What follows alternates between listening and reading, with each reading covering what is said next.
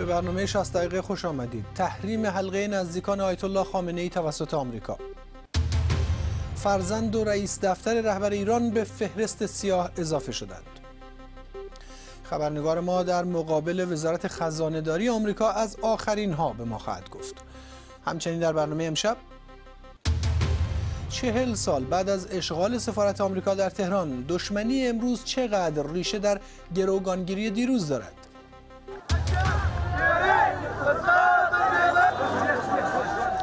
کشته شدن دست کم سه نفر در حمله معترضان به کنسولگری ایران در کربلا. پنج نفر هم در بغداد. جانشان را از دست دادند.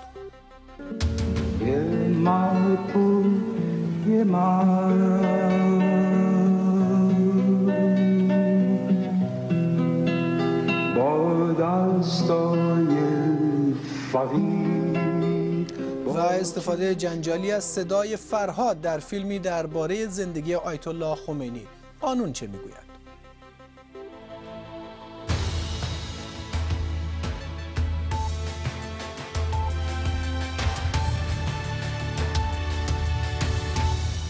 شست دقیقه. زنده از بی بی سی در لندن. در سالگرد چهل سالگی اشغال سفارت آمریکا در تهران به دست نیروهای انقلابی واشنگتن فهرستی تازه از تحریم منتشر کرده. تحریم حلقه ای از نزدیکان آیت الله خامنه ای رهبر جمهوری اسلامی. افرادی مثل مجتبی خامنه ای فرزند غلام علی حداد عادل وحید حقانی و محمد محمدی گلپایگانی از اطرافیان آیت الله خامنه ای. ضمن این دولت آمریکا در بیانیه‌ای با یادآوری از سالگرد حمله به سفارت رفتارهای جمهوری اسلامی را ادامه گروگانگیری ترور خرابکاری و حمله به شبکه انرژی جهانی توصیف کرده. چرا این قصه چهل ساله همچنان تازه است؟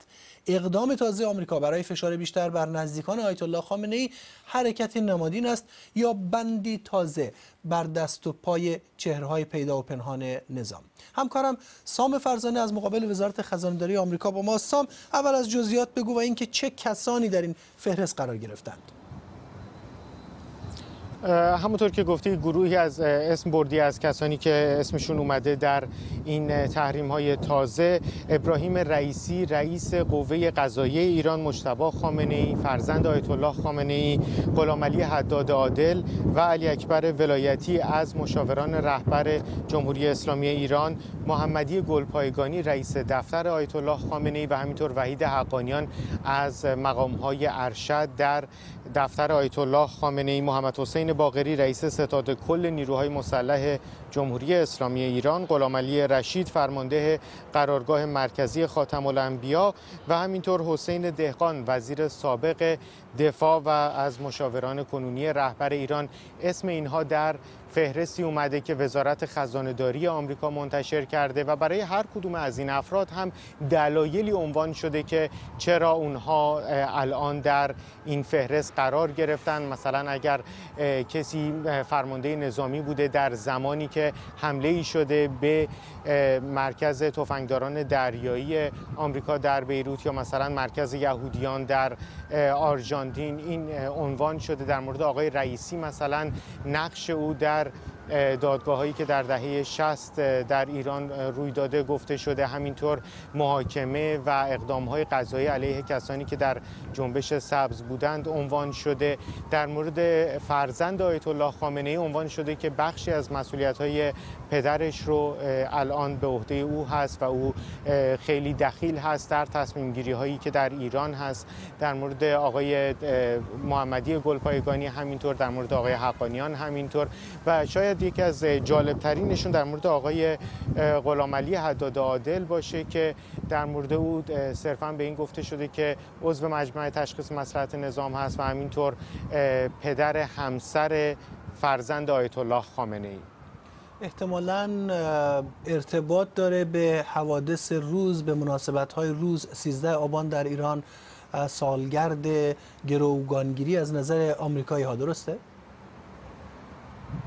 همینطور آمریکایی ها هم نه تنها اتفاقی که در مورد سفارت آمریکا در ایران افتاد چهل سال پیش اون رو بهش میگن گروگانگیری و همینطور بازداشت کسانی که مثلا ملیت دوگانه دارند و در ایران هستند یا آمریکایی هایی که آخرین بار در ایران دیده شدند یا در ایران اصلا به صورت رسمی مشخصه که در زندان هستند. آمریکا همه اینها رو به عنوان گروگانگیری به حساب میاره و در واقع دلیلی که اومدن و این روز در چهلمین سالگرد اعلام کردن همین بوده. کاخ سفید هم بیانیه ای داده و در اونجا هم در مورد همین رفتارهای ایران صحبت کرده و از ایران دعوت کرده که مثل کاخ سفید به گفته اونها هم سو باشه با خواسته های مردم ایران و دست از این کارها برداره. این رو هم می‌دونیم که وزیر خارجه ایالات متحده تا چند ساعت دیگه می‌خواد با گروهی از کسانی که در حادثه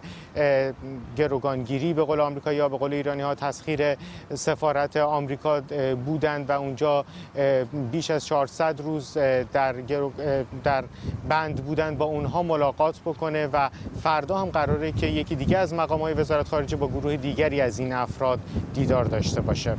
ممنونم از همکارم سام فرزانه در مقابل وزارت خزانهداری آمریکا از واشنگتن با ما.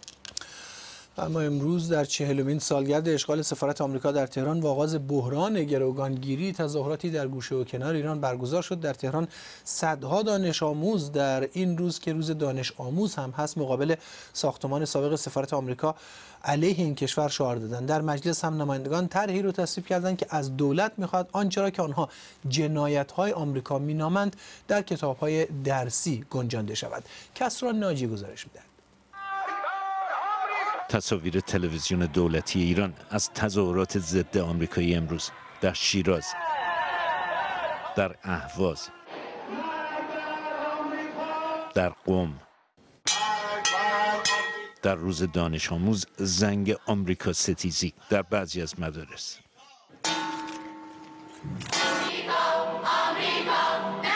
امسال در چهلمین سالگرد اشغال سفارت آمریکا و آغاز بحران گروگانگیری. واقعی که تندروها در ایران مصرند که هر ساله آن را بزرگ بدارند. زن جان جان روزی که شروع انزوای ایران بود و تحریم های آمریکا که هنوز هم ادامه دارد. تحریم اقتصادی دیگر اثر ندارد. تحریم هایی که صادرات نفت ایران را تقریبا به صفر رسانده. واقعی که راه را برای حمله عراق به ایران باز کرد و جنگی خونین و ویرانگر برای هشت سال. در تهران در مقابل ساختمان سابق سفارت آمریکا این دانش آموزان مدارس خوشحال از تعطیلی کلاس ها این پیام رو از نظام مقدس جمهوری اسلام. سخنران اصلی فرمانده ارتش. از مردم ایران درک کردند که دوران فشار با هزینه صفر به پایان رسیده است. در مجلس هم شعارهای ضد آمریکایی. نمایندگان طرحی را تصویب کردند که از دولت می‌خواهد آنچه را جنایت های آمریکا می‌خوانند در کتب درسی مدارس و دانشگاه ها جا بدهد. دیگه با اکثریت قاطع آرا رأی آورد. دیوارهای ساختمان سابق سفارت را هم این روزها با دیوار نگاره های تازه پوشاندن علیه آمریکا و هر نوع مذاکره با آمریکا. در اوج تحریم های آمریکا که ظاهرا برای تندروها دستاورد تلقی می شود در مراسم امروز در تهران پیام و تناب خط و نشان و اعدام برای مخالفان و منتقدان. در این نمایش آمریکا ستیزی و گروگانگیری. سیاستی که طی چهل سال گذشته کشور رو به فقر و انزوا و ورطی جنگ کشانده. کسراناجی بی بی سی. اشغال سفارت آمریکا در تهران در 13 آبان سال 1358 یعنی درست 40 سال پیش به بحران بزرگی در روابط دو کشور منجر شد که تا امروز ادامه داره شروط اولیه جمهوری اسلامی ایران. برای خاتمه این بحران استرداد محمد رضا شاه پهلوی برای محاکمه و تحویل دارایی های او بود که محقق نشد. با ادامه بحران مطالبه اصلی تهران برای آزادی گروگان ها به آزادی دارایی های توقیف شدهش از طرف آمریکایی ها تبدیل شد. سرانجام در حالی که مقام های ایرانی در ابتدا از مطالبات 24 میلیارد دلاری خود از آمریکا سخن می‌گفتند مبلغی که در ازای آزادی گروگان ها از واشنگتن دریافت کردند حدود 8 میلیارد دلار بود که 5 میلیارد آن صرف پرداخت مطالبات متقابل بانک های آمریکایی شد و در نهایت بیش از 3 میلیارد دلار باقی نماند. خشایر جنیدی نگاهی کرده به تاریخچه 444 روزه اشغال سفارت آمریکا از آغاز تا آزادی دیپلمات‌های آمریکایی. سیزدهم آبان 1358 روزی که در تقویم رسمی ایران یوم الله نامیده شده. در این روز جوانانی که خود را دانشجویان پیرو خط امام می نامیدند به سفارت آمریکا در تهران هجوم بردند درهایش را شکستند دیپلماتهایش را بازداشت و اسناد و مدارکش را توقیف کردند.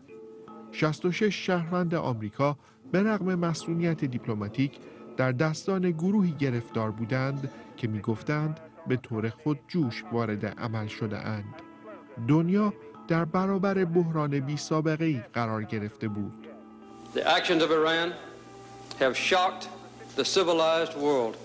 رفتار ایران جهان متمدن را بهت زده کرده.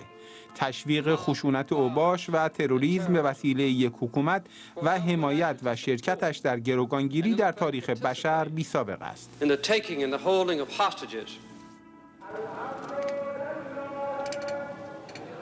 دانشجویان پیرو خط امام خواهان استرداد شاه به ایران برای محاکمه بودند. شاه برای درمان سرطان به آمریکا رفته بود. حمایت آیت الله خمینی از این اقدام تلاش های دولت موقت را برای پایان دادن به بحران بی نتیجه گذاشت.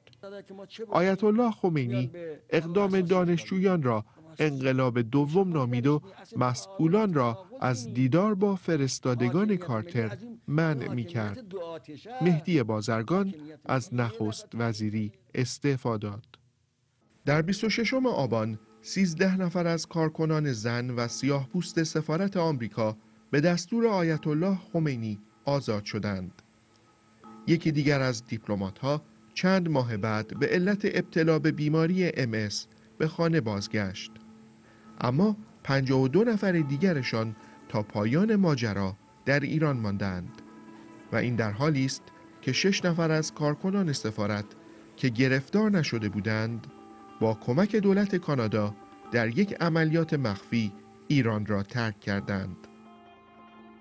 دو قطنامه شورای امنیت و پادرمیانی دبیر کل سازمان ملل و پاپ هم در تغییر موضع انقلابیون تأثیر نگذاشت. آیت الله خمینی بر استرداد شاه اصرار داشت.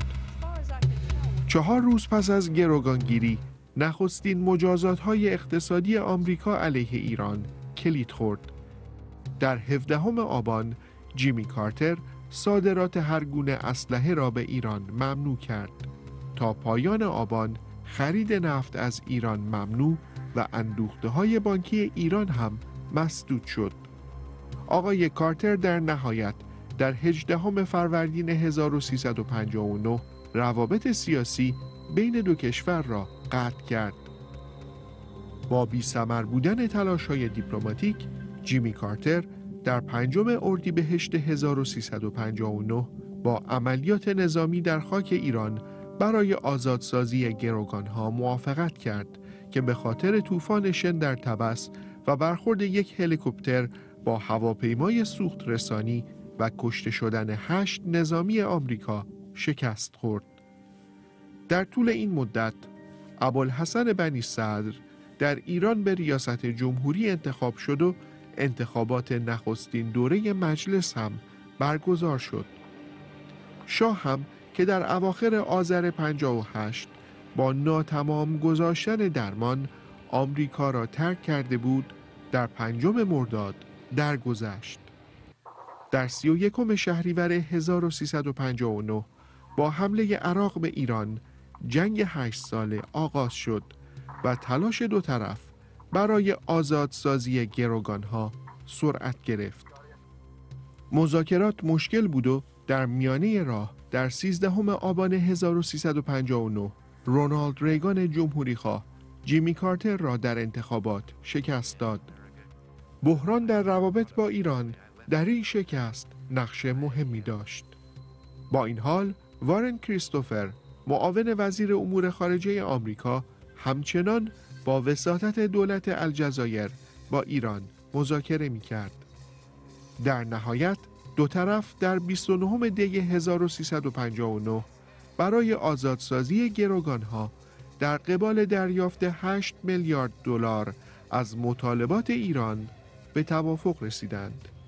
گروگانهای آمریکایی دانشجویان پیرو خط امام پس از 444 روز در سیوم دی از ایران خارج شدند. در روزی که مراسم تحلیف رونالد ریگان در واشنگتن برگزار می شد. خشایار جنیدی بی بی سی عباس عبدی روزنامه نگار که در زمان اشغال سفارت از دانشجویان پیرو خط امام بود از تهران با ما آقای عبدی دیروز آیت الله خامنه‌ای حرفای تندی علیه آمریکا زد امروز دولت آمریکا موج تازه ای از تحریم ها رو منتشر کرد. فهرست تازه رو منتشر کرد. بسیار میگن که اشغال سفارت مبدعی بوده که الان کار به اینجا رسیده. شما چی فکر می‌کنید؟ ولی من فکر می‌کنم آمریکایی ها همش می‌خوان خودشون حقیقت رو تعریف کنن اخلاق رو تعریف کنن و فکر نمی کنم این به نتیجه ای برسه.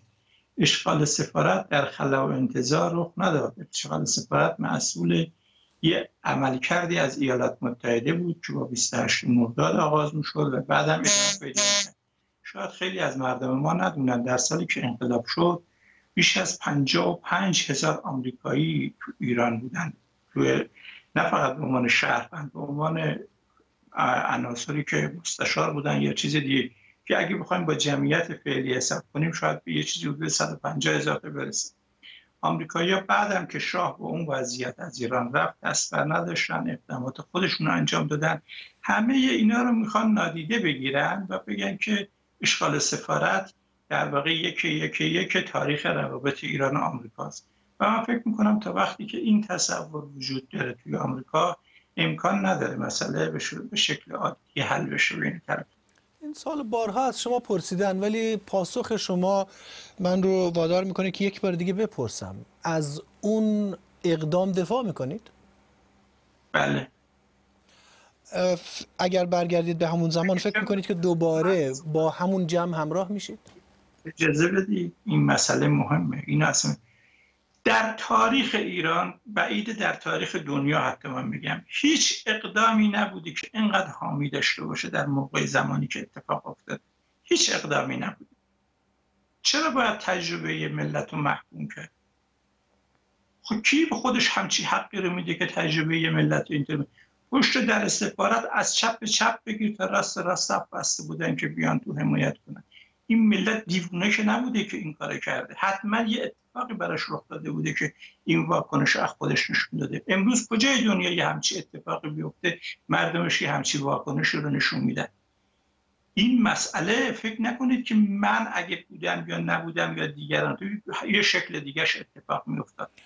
بعد از اشغال اجازه بدید. بعد بله. از اشغال سفارت شما اطلاع داری شما با پاکستان باید آشنایی داشته باشید. سفارت پاکستان آتیش گرفت. سفارت آمریکا تو پاکستان. چندین آمریکاییش کشته شد. یه نفرتون از اون اطلاع داری؟ هیچ کس اطلاع نداره. همه رو بله. ندیده میگه. بله. آقای, آقای عبدی بعد از اون اتفاقها مثلا تحریم هایی که وضع شد شاید صدها میلیارد دلار به ایران خسارت زده باشه. تحریم ها در گزارش هم اشاره شد چهار روز بعد از همین واقعه شروع شد. فکر می‌کنید اگه نمی‌شد گل و بلبل می‌شد؟ شما اجازه بدید همین تجربه اخیرمون رو ببینیم. ما چرا بریم چل سال پیش ایران؟ مگه برجام ما نپذیرو؟ مگه امضا نکرد؟ مگه تعهد نداد؟ همه کارش رو درست انجام نداد. چرا ایالات متحده زده زیرش؟ چی کار کرده که دارن تحریمش می‌کنن؟ اصلا شما درکی که داریم از آمریکا توضیح میدیم درک مطابق با واقع نیست. اینطوری که فکر می‌کنیم که اونا به این دلایل این کار کردن خب فرداش یه دلیل دیگه پیدا خب آقای عبدی باز طرف مقابل میگه که اصلا جمهوری اسلامی یک نظامیه که نیاز به دشمنی مثل آمریکا داره. آیت الله خامنه‌ای دیروز هم اشاره کرد که اصلا خود این انقلاب در اصل و اساسش یک حرکت ضد آمریکایی بوده. خب به خاطر اینکه ایالات متحده اینجا بوده. ایالات متحده همه کاره بوده. من براتون گفتم توی جمعیت سی میلیونی با اون دولتی که به نسبت الان کوچکتر بوده پنجاه خورده هزار آمریکایی اینجا بوده. تو طبقات بالای یا اسناد سفارت رو بخونه طبقات بالای رژیم شاه همه عصبانی بودن که این چه وضعیه که آمریکا اینجا داره رفتار می‌کنه و اینا. خب شما تو چنین وضعی خب بخواین چیکار بکنید؟ خب طبیعیه که این رفتار رو انجام این واکنش ها این نوع. این اصلا کسی چرا به این سوال جواب نمیده که مردم ایران چرا چنین احساسی رو داشتن؟ می‌تونستن حمایت نکنن یه ساعت هم اون برنامه تمام شو بره خب آقای, آقای عبدی. در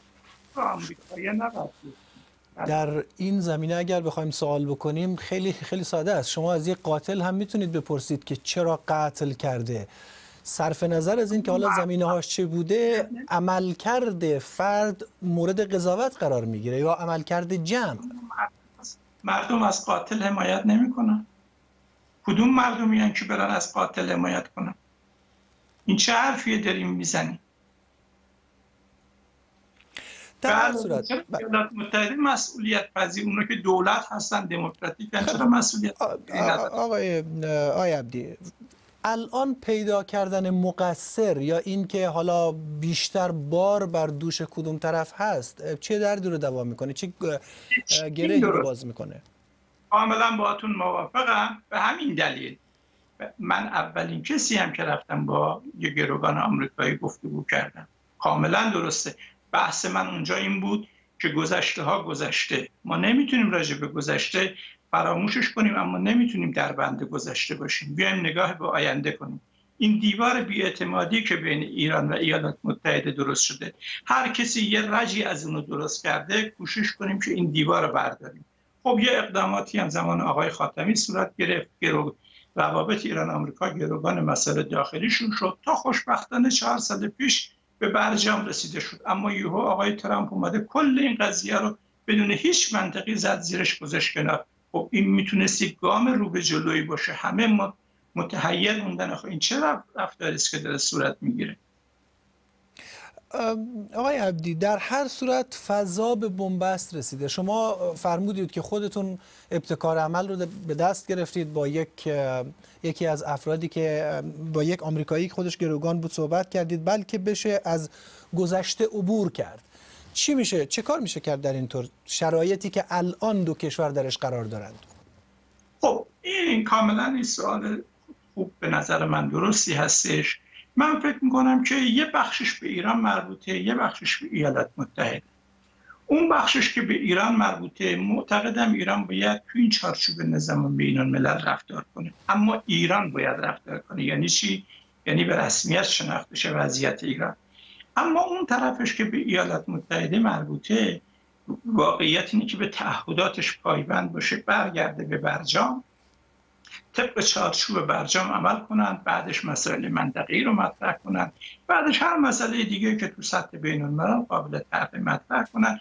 کم کم گام به گام جلو بریم. این اتفاقایی که افتاده رو این اتفاقا رو نمیشه به یک بار ندیده گرفته گذاشت کرد. اما اگه فکر کنیم یک طرف بخواد روی طرف دیگر رو به طور کامل کم کنه من چیزی نهایتش جز درگیری و جنگ و خسارت برای منطقه ایران و کل جهان نمی‌بینیم آقای عبدی ممکنه بعضیا بپرسن که این بسیار جالب هست که فردی که خودش در گروگانگیری از نظر آمریکا یا اشغال سفارت از نظر بعضی دیگر یا تسخیر لانه جاسوسی از طرف جمهوری اسلامی دست داشته حرف از این می‌زنه که ایران باید در چارچوب روابط بین الملل عمل کنه.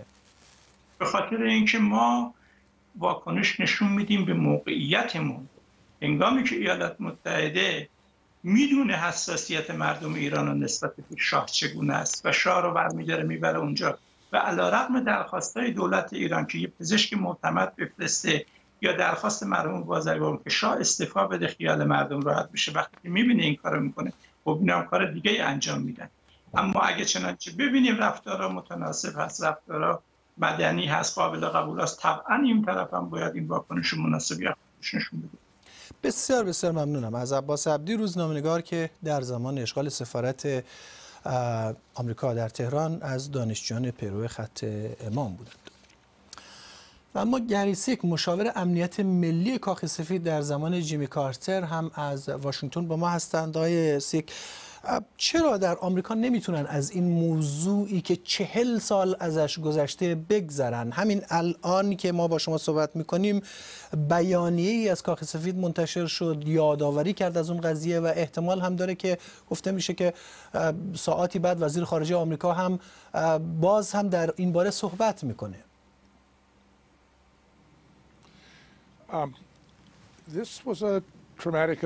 این یک رویداد دراماتیک بود. و مردم شاید فراموش کنند که این اولین بحران سیاست خارجی آمریکا بود که از طریق تلویزیونی پخش شد. برای 444 روز هر خانواده آمریکایی که یک تلویزیون در خانهش داشت تصاویر این مردهای ریشدار رو که مشتهای خودشون رو در هوا تکان می‌دادن و فریاد مرگ بر آمریکا می‌زدن رو تماشا می‌کرد روی تلویزیون هاشون و این یک تاثیر عظیمی در افکار عمومی آمریکا گذاشت و در واقع متحول کرد نحوه نگاه کردن آمریکا رو به ایران تصویر ایران رو به عنوان یک ماهیت تندرو خطرناک و غیرقابل اعتماد ترسیم کرد و در نهایت این تصویر باقی موند. تلاش هایی بوده در بعد از اون که این تصویر تغییر داده بشه اما باید بگم که ایران خود کمکی به بهبود وضع نکرده. شاید کارهای خوبی کرده اما کارهای بدی هم کرده. بنابراین ایالات متحده هیچ وقت نتونسته که از اون تصویر دور بشه و نزدیکترین امکانی یا حد اکثر نزدیکی که محقق شد در زمان دولت باراک اوباما بود که یک مذاکرات خیلی موفقیت آمیز از نظر همه طرف های شرکت کننده به توافق هسته منجر شد. اما خب ما می‌دونیم که این یک خاصیت دیگر رابطه این دو کشور هست که هر بار یکی از دو طرف یک حرکت مثبتی انجام میده اون طرف دیگر قدمی برمیداره که اون رو تخریب کنه. من نمی‌دونم که این لزوما اینجوری برنامه ریزی شده بود اما تاریخ به این ترتیب اتفاق افتاده. اوباما موفق شد که یک توافقی با ایران رو حاصل کنه و این تمایل رو داشت که مستقیما با ایران صحبت کنه و بعد پرزیدنت ترامپ وارد کاخ سفید میشه و از اون توافق عقب نشینی می‌کنه و اوضاع رو بدتر می‌کنه. بنابراین حالا اینکه چیز کار درست بوده یا کار غلط بوده برای آمریکا موفقیت آمیز نبوده. این تلاش برای دور کردن و التیام این دلخوری آمریکا از ایران و البته از جانب ایران هم اگر نگاه کنیم از نقطه نظر سیاسی باید بدونیم که هیچ سیاستی در داخل خود آمریکا با خوب صحبت کردن راجع به ایران رأی به دست نمیاره. بنابراین تا وقتی که این تغییر نکنه وضعیت همینطور خواهد بود. همونطور که در چهل سال اخیر اینطور بوده. متاسفانه. آیسیک این پیدا کردن مقصر چقدر می‌تونه گره گشا باشه؟ آمریکا میگه که ایران مقصر بوده ایران هم میگه که دلایل متعددی داره که اون حرکت رو در اون زمان توضیح میده اگر توجیه نکنه.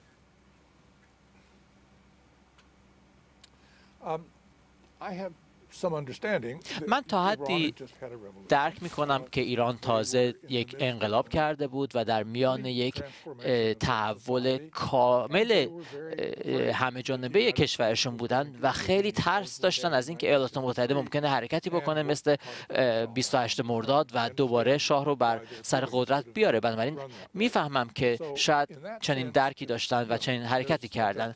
بنابراین از این نظر تا حدی توجیه هست. من موافقت نمی کنم. قبول ند... موافق این حرکت نیستم اما می‌فهمم. اما متاسفانه باید بگم مشکل اصلی این نیست که این دانشجوها اومدن و در سفارت نشستن یا اینکه اونو تسخیر کردن. مشکل اینه که دولت اون زمان با اینها همراه شد و کسانی که اومدن که تظاهرات کنن علیه ایالات متحده در واقع دیدن که دارن یک زندان رو اداره می‌کنن. و و برای بیش از یک سال 444 روز رفتار ایران غیر قابل بخشش و توجیه بود و بیشتر آمریکایی‌ها به اعتقاد من اگر که مثلا تا پایان ماه نوامبر اون سال این گروگان ها رو آزاد کرده بودند و همه می‌گفتن خب می‌خوام برگردیم به شرط قبلی اون وقت بیشتر آمریکایی ها این رو میفهمیدن دولت آمریکا این رو میپذیرفت و مردم ایران هم فکر می‌کنم که میپذیرفتن. اما این کار رو نکردن ایرانی ها و به دلایل سیاسی و در واقع به دلیل سیاسی که داخل ایران منبع اونها بود این بحران رو بسیار بسیار طولانی تر کردن بدون اینکه هیچ برنامه ای براش داشته باشن و صرفا برای اهداف سیاسی داخلی ایران. و در نهایت باید به یک توافقی می رسیدن که سیاست مداره ایران راضی کنه آقای سیک شما میگید که میگه که در 444 روز که میشه یک سال و حالا تقریبا دو سه ماه مردم آمریکا در شرایط سختی قرار گرفتن. ولی انقلابی ها میگن که از کودتای 28 مرداد تا سال 57 25 سال آمریکا شرایط سختی رو بر مردم ایران تحمیل کرده بود. سال من اینه که این پیدا کردن مقصر در شرایط فعلی چقدر راهگشاست؟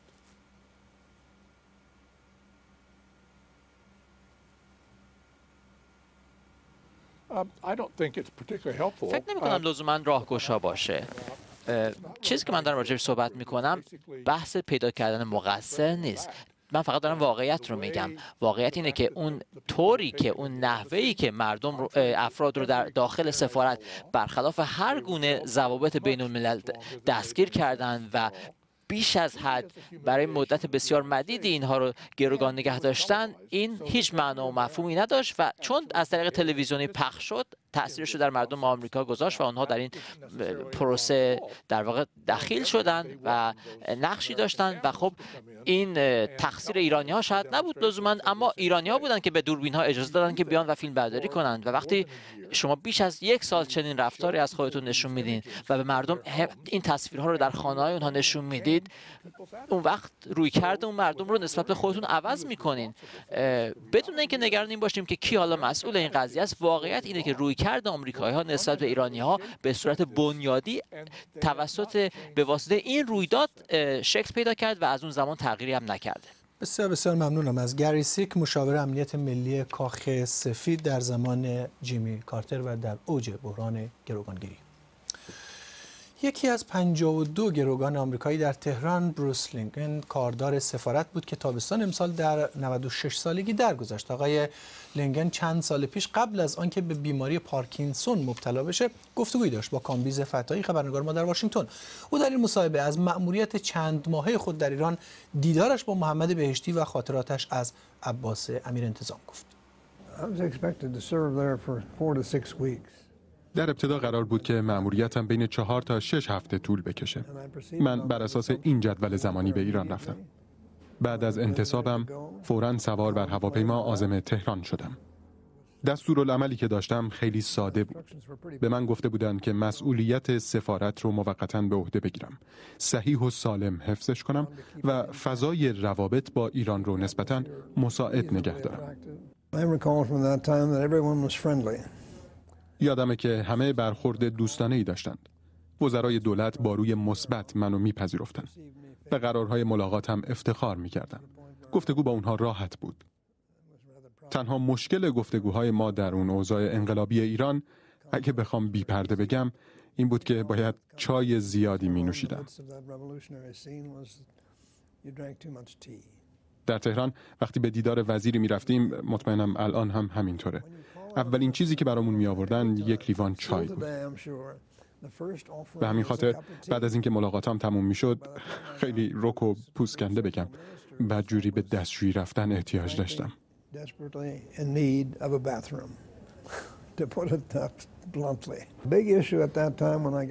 زمانی که وارد تهران شدم اصلی ترین موضوع این بود که درباره قراردادهای نظامی گذشته بین ایران و آمریکا چه باید کرد. این یکی از بزرگترین چالش های پیش روی من در تابستان سال 1979 بود. اینکه تا جای ممکن فضای روابط رو بهتر کنم تا اختلافات بر سر قراردادهای نظامی حل و فصل بشه. ملت قهرمان ما یعنی همین مردم کوچه و خیابون وقتی میگیم ملت من در موقعیتی بودم که می‌تونستم برای دیدار با اشخاصی مثل محمد بهشتی درخواست بدم.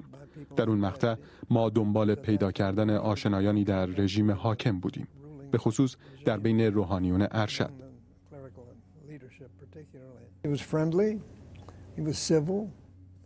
بهشتی برخورد خوبی داشت. با نزاکت و معدب بود. به من قولی نداد اما فضای دیدار ما دوستانه بود.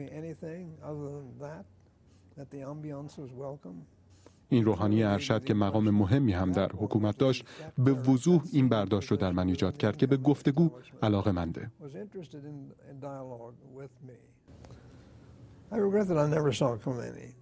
من از اینکه هرگز نتونستم خمینی رو ببینم متاسفم. احساس می‌کردم به طور بالقوه برای دیدار با خمینی آماده ام اما این ایده بین همکارانم و کارکنان سفارت به جایی نرسید. چرا که کسی فکر نمی‌کرد شرایط جوری باشه که بشه حتی برای چنین ملاقاتی تقاضا داد. ما هیچ وقت نمی‌دونیم که روابط ایران و آمریکا کجا شروع شد و کجا قطع میشه. این مسئله هنوز به قوت خودش باقیه. مثلا عباس امیر انتظام. اونچه برای اون اتفاق افتاد یه تراژدی شخصی با پیامدهای بزرگه. انتظام خوب میشناختم. به او علاقه داشتم. انتظام به نظر من نماد ایران آینده بود. اون خیلی خوش صحبت و از گذشته مطلع بود. افراد زیادی رو میشناخت. وقتی که به گذشته نگاه می کنم همیشه از اینکه انتظام یه قربانی انقلاب باقی موند احساس تأسف می کنم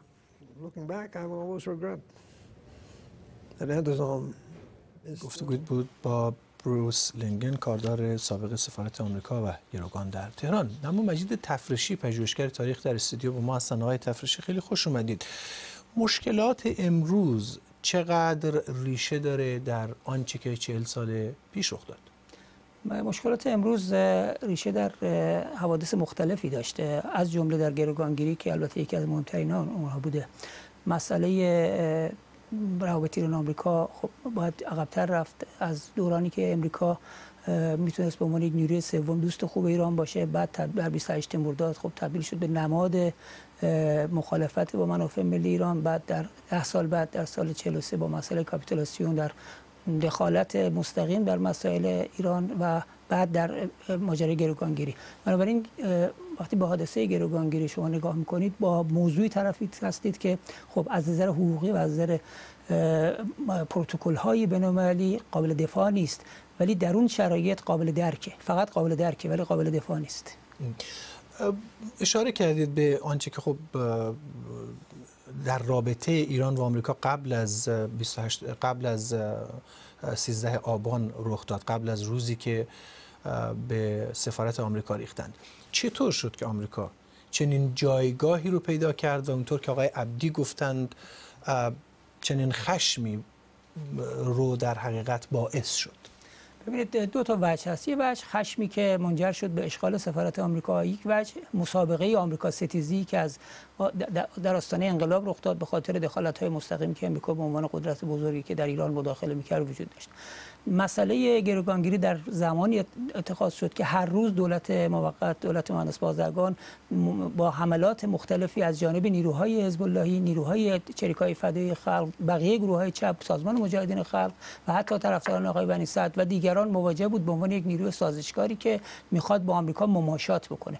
در این مسابقه آمریکا ستیزی برای اینکه به اصطلاح نیروهای انقلابی اسلامی از معرکه عقب نیفتن باید اقدام می‌کردن و اشغال سفارت آمریکا بهترین راه بود برای ضربه زدن به دولت بازرگان و پیروزی در مسابقه آمریکا ستیزی در سال 58 خب این آمریکا ستیزی از نظر بسیاریش تبدیل شده به یک بخش اساسی در جمهوری اسلامی و باز هم از نظر برخی حکومت به نوعی به این نیاز داره به این دشمن و همینطور به این آمریکا ستیزی چقدر این نظریه رو شما تایید می‌کنید؟ ببینید اول از بدیم در مورد سوال قبلی توضیح خیلی مهم خیلی کوتاه بدم و اونی که مسئله اشغال یک سفارت خارجی امر جدیدی نیست. از ابتدای قاجاریه در زمان فتح سفارت روسیه اشغال شده در کشور دیگه ده ها بار و صدها بار دانشجو ریختن سفارت مختلف قتل گریگوریدوف بله بعد از ماده ترکمنچای بعد و بعد در مسئله در خود همین لندن بارها سفارت ایران توسط نیروهای ایرانی مخالف حکومت اشغال شده. قبل و بعد از انقلاب چیز جدیدی نیست اشغال. مسئله بر سر دو چیز است و بلکه سه چیز. اول اینکه طولانی شدن مدت گروگانگیری است. دوم اینکه تبدیل یک اقدام خودجوش خودسرانه به یک اقدام حکومتی یعنی حکومت مسئولیت میپذیره. و مسئله سوم تبدیل شدن ماجرای دعوایی با آمریکا به فوتبال سیاسی داخلی. یعنی تبدیل میشه به یک کشمکشی که ادامه پیدا می‌کنه به لحی علیه گروه های سیاسی داخلی. و آمریکا در واقع در وهله دوم و سوم قرار این بحث اول. بحث دوم که در مسئله گروگانگیری باید توجه داشته باشیم. تبعات گروگانگیری برای ما بسیار هزینه بر بوده. و اونایی که دفاع می‌کنن مثل آقای عبدی که الان صحبت کردن و دیگران باید این فزینه فایده رو بهش پاسخ بدن. مسئله اول اینه که گروگانگیری اولین بار بعد از گروگانگیری اولین باره که قدرت های غربی به خصوص امریکا مسئله مقابله به حکومت ایران به طور علنی و آشکار مطرح می‌کنن. تا قبل از اون حکومت های غربی با ایران مشکل داشتن اختلاف داشتن ناراضی بودن از انقلاب ایران ناخشنود بودن از سقوط ولی هیچکس در صدد مقابله با ایران نبود. گروگانگیری اولین اقدامی رو آغاز کرد که دنیا رو یعنی اروپا و آمریکا رو علیه ایران متحد کرد. در کنفرانس ناپل بعد از گروگانگیری کشورهای مهم دنیا از سیاسی و اقتصادی جمع شدن و علیه ایران مستقیما تصمیم متحد گرفتن. اقدامی که البته بعدها در زمان آقای احمد نژاد به وجه از احسن دنیا رو علیه ایران متحد کرد در یک مرحله جدید سری و مسئله بعدی مسئله اینه که برای اولین بار هست که در ایران ما شاهد این هستیم که باب مذاکره مسدود میشه و اساسا مذاکره مضموم جلوه داده میشه. این چیزیه که اتفاقا در ادبیات و تاریخ نگاری بعد از انقلاب خیلی حساس راجبش هستن. در ماجرای گروگانگیری صحبت میشه که معاهده الج... الجزایر به مذاکراتی که در الجزایر رخ داد در آستانه گروگانگیری توسط بازرگان و یزدی با برژنسکی و تیمش در جشن انقلاب الجزایر باعث شد که اشغال بشه سفارت ولی هیچ کس نمیگه در اون مذاکرات یزدی و بازرگان ناظر بودند. مصاحبه مذاکره کننده اصلی شخص مصطفی چمران بود وزیر دفاع. اون مستقیم بود که برای مسئله دفاع ایران مذاکره می‌کرد. ولی چون قرار است آقای مرحوم چمران جاودانه بشه و منزه بشه اسمش از مذاکرات الجزایر حذف میشه. و در چهل سال تاریخ نگاری فقط میگن بازرگان و یزدی خیانت کردن. ولی اونا ناظر بودن چمران مذاکره می‌کرد. الان به نظر میاد که در رابطه بین ایران و آمریکا یک بنبست هست. خیلی هم پیچیده به نظر میاد. مسئله گروگانگیری هم داره بهش اشاره میشه. این موضوع یک بهانه جنبی و حاشیه‌ایه یا اینکه یکی از مسائل اصلی هست که اتفاقا باید بین ایران و آمریکا حل بشه؟ به نظر من مسئله جنبی و حاشیه‌ای نیست ولی ازش سوء استفاده میشه. در امریکا مسئله تابو و ناموسی است در ایران هم همینطور. شما شاید بودین که آقای ترامپ برای اولین بار شاید تا آنجا که ما می‌دونیم با استناد به حوادث کربلا و تعرضاتی که به کنسولگری ایران شد یک شب... توییت یک شبکه فارسی زبان رو ریتوییت می‌کنه و با خوشحالی ازش یاد می‌کنه. این در واقع ادامه این ایران ستیزی است که آقای ترامپ مشتعلش کرده. ایجادش نکرده ولی به بدترین وجهش رسونده. قبلا هم وجود داشته. در ایران هم همینطوره. بنابراین مسئله گروگانگیری در ایران و در امریکا ضمن اینکه تابو هست و ناموسه تبدیل یک business هم شده و به حال دو طرف به نوعی در دو طرف اشخاصی هستن و گروه هستن که دوست ندارن خاتمه پیدا کنه ولی نمیشه از کنارش گذشت و زیر فرش قایمش کرد. باید بهش توجه کرد و برای رسیدن به یک پایداری ثبات در مناسبات باید به طور جدی مورد بررسی واقع بشه. سپاسگزارم از مجید تفریشی پژوهشگر تاریخ اینجا در استودیو با ما. 13 آبان پارسال دولت آمریکا دومین گام برای بازگرداندن تحریم ها علیه جمهوری اسلامی ایران رو برداشت و شرایط به دوران قبل از توافق هسته‌ای بازگشت. تا یک سال گذشته هم تحریم ها را افزایش داده. شیدا هوشمندی نگاهی کرده به روند این تحریم ها که 40 سال پیش بعد از اشغال سفارت آمریکا در تهران شروع شد. توپ، تانک، مسلسل، جنگنده های F-16 سال هاست جای خودشان را به اینها دادند. مهمترین ابزار برای تحریم. و تحریم مدرن ترین اهرم برای فشار بر دولت ها. چهار دهه است نام ایران و تحریم به هم گره خورده. داستان تحریم ایران حالا طولانی تر از حوصله مردم شده. مانند فیلمی طولانی و خسته کننده. فیلمی که داستانش می توانست متفاوت باشد اگر در 13 آبان 58 انقلابیون تبعات حمله به سفارت امریکا را در نظر می گرفتند.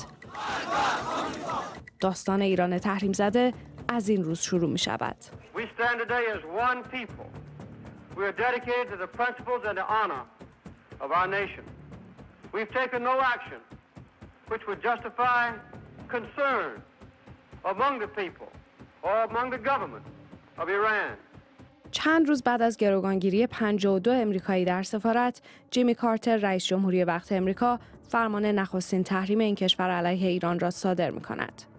چند روز بعد از آن دارایی های دولت ایران در بانک های امریکایی مسدود می شود.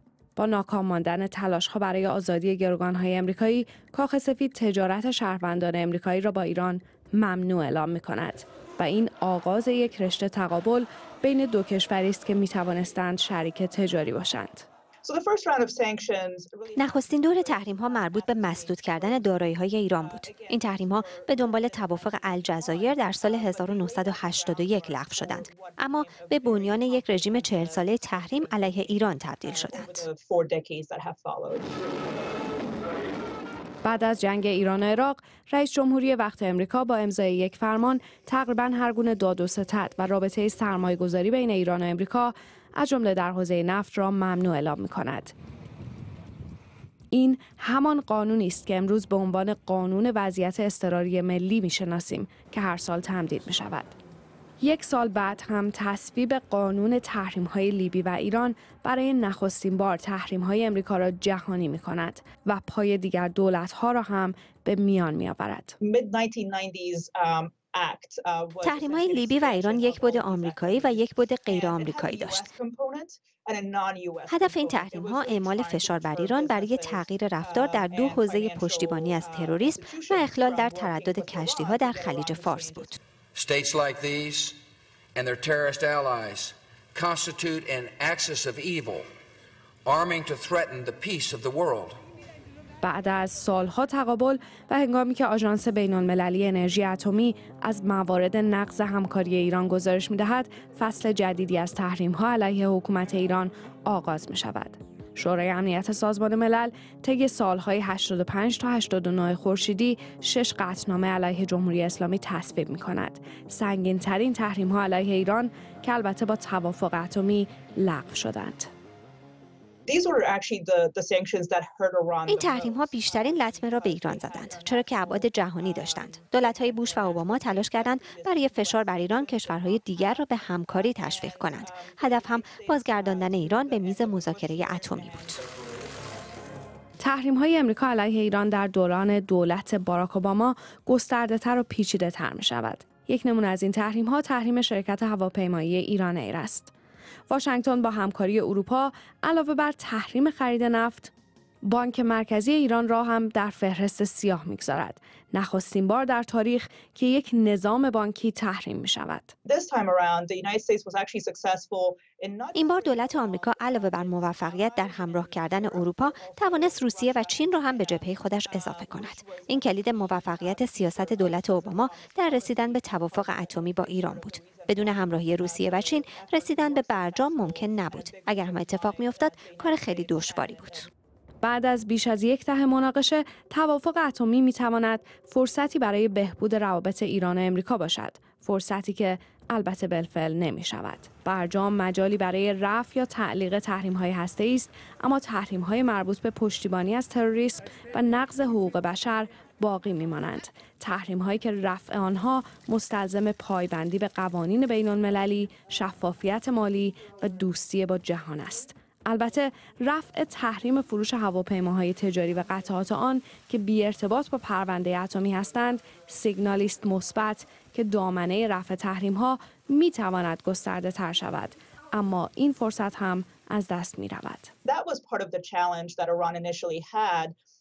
این یکی از چالش های ایران بعد از اجرای برجام بود. ایرانی ها می‌گفتند به خاطر تحریم های آمریکا نمی توانند از تمام دستاوردهای اقتصادی برجام بهره ببرند. بخشی از این مشکل البته به مدیریت اقتصادی ایران، فساد و حضور گسترده سپاه در اقتصاد مربوط بود. اما بخش دیگر به تحریم های باقی مانده آمریکا مربوط بود. Iran is not living up to the spirit of the deal.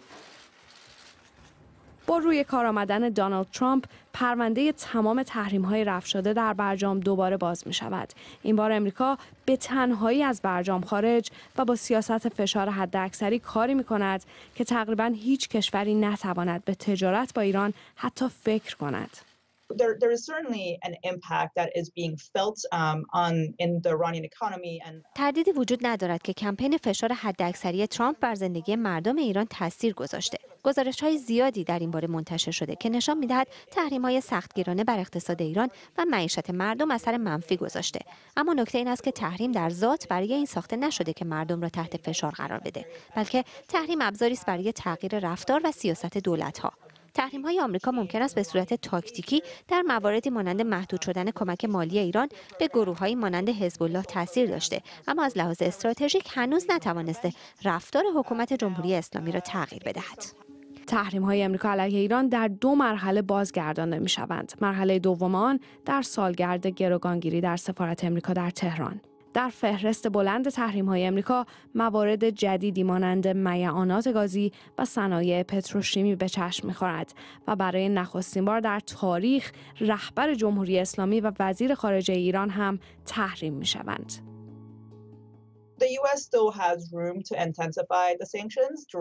آمریکا هنوز می تواند به فهرست تحریم ها علیه ایران موارد دیگری اضافه کند. مانند محدودیت سفر مقام های ایرانی یا تحریم گروه های وابسته به ایران در منطقه. با این حال مشخص نیست این تحریم ها چه تأثیری بر رفتار ایران داشته باشد. فهرست تحریم ها علیه ایران می تواند بلندتر هم بشود اما جبران خسارت چهل سال از دست رفته برای اقتصاد ایران حتی اگر امروز هم آغاز شود کار دشواری است. شیده هوشمندی بی بی سی. تحریر میدانی مرکزی در بغداد همچنان صحنه‌هایی از اعتراض و مرگ است. پنج نفر دیگر در موج تازه اعتراض ها جان دادند اعتراض های کربلا شب گذشته در مقابل کنسولگری ایران به خون کشیده شد. با دست کم سه کشته. مشکلات اقتصادی و فساد مالی دستگاه حاکم جان جامعه جوان و سرخورده را به لب رسانده. از همان ابتدا آتش خشم معترضان دامن نهادهای وابسته به ایران را گرفته. از مدتی قبل در بصره تا حالا در کربلا. چرا دامنه اعتراض به اندازه گسترده شده که عراق در چند دهه اخیر به خود ندیده؟ در این زمینه گفتگوی داریم با حسام دستپیش استاد دانشگاه صلاح الدین اربیل و تلگر مسائل عراق. های دستپیش چطور هست که دولت نتونسته وضعیت رو کنترل بکنه؟ الان فضا به سمتی حرکت کرده که گفته میشه در دهه های اخیر سابقه نداشته. ببینید اون اتفاقی که در جامعه عراق افتاده در حقیقت نشان از یک نوع بنبست بنبست از این لحاظ که این کشور پروژه مشخصی برای نسل جدیدی که در این کشور بعد 2003 به بزرگ شدن نداره. به این معنا که بتونه خواسته های اقتصادی، اجتماعی، فرهنگی و حتی نوع نگاه اونها به حکومتداری را پاسخگو باشه. عوامل بسیاری در این مسئله دخیل هستند. مسائل منطقی در اون دخیل هستند. نوع روابطی که میان نخبگان سیاسی این کشور وجود داره نوع روابط نظامی و امنیتی که در این کشور شکل گرفته و نوع به تقسیم بندی قدرتی که در این کشور وجود داره همه اینها مجموع عواملی هستند که باعث شده جامعه عراق مخصوصا جامعه عربی که هسته اصلی قدرت رو تشکیل میدن به این نتیجه برسن که این بخش از نخبگان که در حال حاضر عراق عربی رو کنترل می‌کنن توانایی پاسخگویی به خواسته اونا رو ندارن و به همین دلیلی که هیچ سیاستمداری در حال حاضر توانایی اقناع این جامعه رو نداشته و میزان اعتراضات روز به روز گسترده تر میشه. جالب هست که در کربلا خب حوادثی رخ داد که کمتر انتظارش می‌رفت. خیلی میگن که شهرهایی مثل کربلا که خیلی مذهبی هستند حیات خلوت ایران به حساب می اومده چطور هست که ضد ایران احساسات ضد ایران در اونجاها تا این حد دیده میشه؟ ببین شاید دی فکر کنن که اون چیزی که در کربلا اتفاق افتاده مسئله جدیده. اما بنده فکر می‌کنم هرچند که قبلا هم به معتقد بودم. اون چی رفتارهایی که جمهوری اسلامی در عراق انجام میده به انباشت کردن میزان نارضایتی و به اصطلاح تبدیل شدن به عادر یا دیگری بود. چرا؟ به خاطر اینکه سیاست جمهوری اسلامی در عراق ادامه سیاست داخلی در ایرانه. به این معنا که نوع روی کردی که جمهوری اسلامی نسبت به سیاست به فرهنگ به اقتصاد به نظامیگری و امنیتی و غیره داره همون موضوع رو در عراق پیاده کرده یا در صدده که به اصلاح اونو تثبیت کنه. به همین دلیل بنده فکر می‌کنم در حال حاضر مردم عادی عراق جمهوری اسلامی رو بیشتر مسئول می‌دانند تا اون نخبگانی که قدرت رو به اصلاح در دست دارن. به همین دلیلی که در حال حاضر مشاهده می‌کنه که این سیاست ها ادامه داشته و این ادامه منتهی به اون خواهد شد که میزان فاصله یا تنفر بیشتر بشه. سپاسگزارم از حسام دستپیش استاد دانشگاه صلاح الدین اربیل و تلگر مسائل سیاسی عراق همسر و وکیل فرهاد خواننده در گذشته ایرانی به استفاده از یک آهنگ او در فیلمی درباره زندگی آیت الله خمینی بنیانگذار جمهوری اسلامی ایران اعتراض کردند. این اعتراض بار دیگر موضوع رعایت حقوق مادی و معنوی خالقان آثار هنری در ایران را مطرح کرده. ریحانه مظاهری گزارش می‌دهد. صدای بی صدا آهنگ مرد تنها با صدای فرهاد. پنج دهه پیش فیلم رضا موتوری به کارگردانی مسعود کیمیایی. آهنگی که از آن در آثار سینمایی مختلف بعد از انقلاب هم استفاده شده. پخش آهنگ های فرهاد پس از مرگش با مخالفت و شکایت سریح خانوادهش همراه بوده. حالا با گذشت سالها بار دیگر استفاده از این آهنگ ماندگار بحث حقوق مادی و معنوی آثار هنری و جایگاه آن در قوانین را به میان آورده. ماجرا مربوط به شکایت پوران گلفام همسر فرهاد درباره استفاده از آهنگ مرد تنها در فیلمی است به کارگردانی بهروز افخمی. فرزند صبح. فیلمی که به زندگی آیت الله خمینی در دوران کودکی و تا هفت سالگی و بخشی از دوران جوانی او مربوط می شود. فیلمی که با گذشته بیش از یک دهه از زمان ساختش حالا به نظر می رسد نسخه نهاییش آماده نمایش باشد. کرده بودن بعد همسر فرهاد با شکایت از آقای افخمی گفته حقوق مادی و معنوی استفاده از صدا و آهنگهای همسرش با خانواده اوست و کارگردان حق ندارد بدون اجازه از آنها استفاده کند. شکایتی که واکنش بهروز افخمی را در پی داشت. خانم پوران گلفام زن فرهاد مهراد فکر می‌کنه که صاحب حقوق معنوی آهنگای فرهاد هست و صدای فرهاد هست. در حالی که اگه یه بار قانون مؤلف و مصنف از اول تا آخر بخونه متوجه میشه که اصولا قانون مؤلف و مصنف میگه حقوق معنوی قابل انتقال نیست. فقط حقوق مادی قابل انتقاله. اما قانون حمایت از حقوق مؤلفان و مصنفان و هنرمندان چه می‌گوید؟ قانونی که در سال 1348 خورشیدی تصویب شد و چند سال بعد در سال 89 هم لوایحی به آن اضافه شد. طبق ماده 12 این قانون طبیعتا حقوق پدید آورنده در صورتی که وارث داشته باشه به ارث می‌رسه وصایت هم کرده باشه که به موجب اون وصیتش به اون فرد می‌رسه. اما به بند چهار این قانون لایحه اضافه شده که در آن آمده حقوق معنوی پدید آورنده محدود به زمان و مکان نیست و غیر قابل انتقال است.